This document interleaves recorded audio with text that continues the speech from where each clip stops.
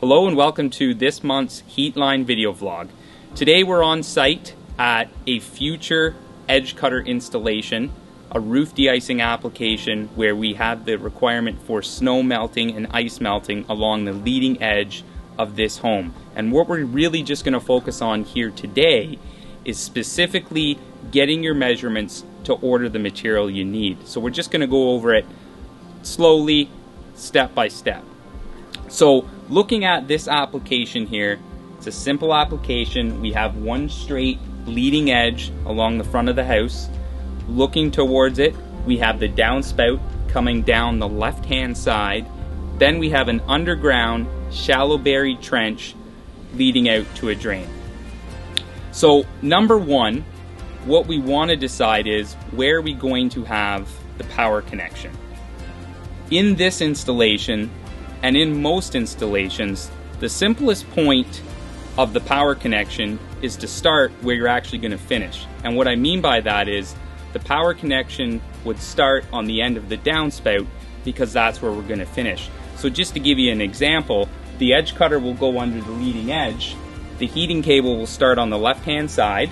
It will run under the edge cutter along the entire leading edge, drop down into the gutter, run back through the gutter and then down the downspout and out into the drain.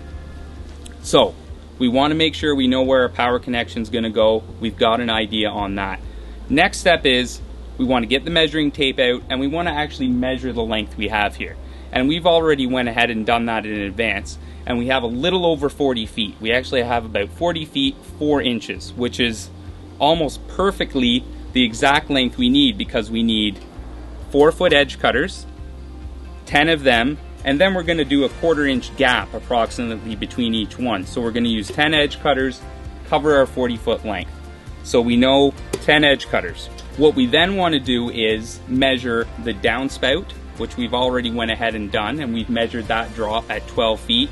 And then we've also measured 25 feet out with the underground drain that is shallow buried. Why those measurements are important because the heating cable will start from the power connection it will run 40 feet approximately along the edge cutter, drop, run 40 feet back through the gutter, then go down 12 feet down the downspout, and then go 25 feet out through the shallow buried drain. And that right there, with those numbers added together, is going to give us our approximate length. So we've got 40, another 40 gives us 80, 12 feet down gives us 92, 25 feet out gives us 117. So now that we know the number of edge cutter we need, we have an approximate length of a cable. In this case, since we measured 117, we're probably just going to round up to 120 because that gives us an extra 3 feet. And you do want to have a little bit extra on the cable because no measurement is perfect. And because we're going through a drain, we have the ability to loop some heating cable back if needed. The other thing that's important is we want to identify that we have one downspout, which means that we will need one downspout hanger. And the job of the downspout hanger is to support the heating cable where it hangs down the downspout. And then the fourth thing is we want to identify what type of power connection we need. Are you going to be plugging this directly into an outlet or are you going to be hardwiring it? And as well, how long do you need that power lead to be?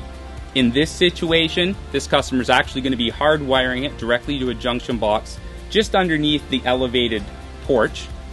So they're going to go with a cord set version and we've went ahead and measured it and it's going to be about 10 feet down to that location. So they're going to need 120 feet of Paladin for roof heating cable. They're going to need a 10 foot cord set cold lead to the power, 10 pieces of edge cutter with caps and a downspout hanger. I hope you found this video vlog helpful. We'll continue to release a new video vlog monthly, so make sure to stay up to date by visiting our website or signing up to our social media links. Thank you for watching.